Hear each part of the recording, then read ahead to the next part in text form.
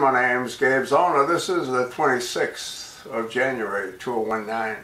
Just read an article on Explore People written by Kelly Bender, B-E-N-D-E-R, posted on the 25th of January 2019.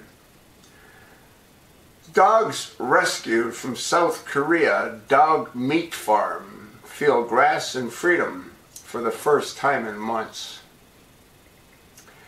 A group of four dogs named for members of Queen because they all just want somebody to love were able to break free and are about to have it all. In 2018, Freddie, May, Taylor, and Johnny, also known as the Bohemian Woofsody, were all stuck in the inhumane squalor of a South Korea dog meat farm. Today, the four canines are on U.S. soil searching for forever families. According to Rescue Freedom Project, all of the canines who the organization says were likely pets before they were ambushed and imprisoned by the dog meat farm were slated to be slaughtered before Rescue and Freedom Project stepped in, along with South Korean-based nonprofit KONI. You'll see this dog looks just like my dog Buddy. I mean, it's a spitting image of Bummy. No question two ways about it. People that know me, nobody. The two groups rescued the pups from the dog meat trade or brought them to the U.S.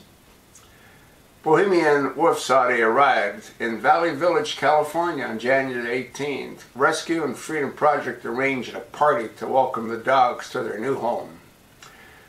At the festivities, the pooches experienced the feeling of grass under their paws once again and received the affection and praise they had been denied for months. Game day is as much fun about food as it is about the game. Hmm.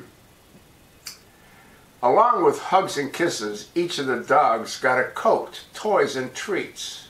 After the party ended, the celebration continued for the four dogs, each of whom went home with a foster family. Now they are safe. Rescue Freedom Project is working on finding the dogs forever homes, while also providing the pets with top veterinary care. Well, folks, I'm a dog person, and I've always had dogs. Once had four dogs. But normally I have two dogs because I don't think it's fair to have just one dog. One dog, when you're not home, is alone. Take a look at the doggies. See if you're in California, you want to adopt one of these. Well, they've, I'm sure, already found homes because this was in sometime in 2018. I don't know how people can eat dogs, but they do, not just in Korea. Vietnam. There's many countries where dogs are considered a delicacy. Absolutely insane. Pass it along to your like-minded friends. Support your local dog pound. As long as they're a non-kill dog pound. Thanks for listening.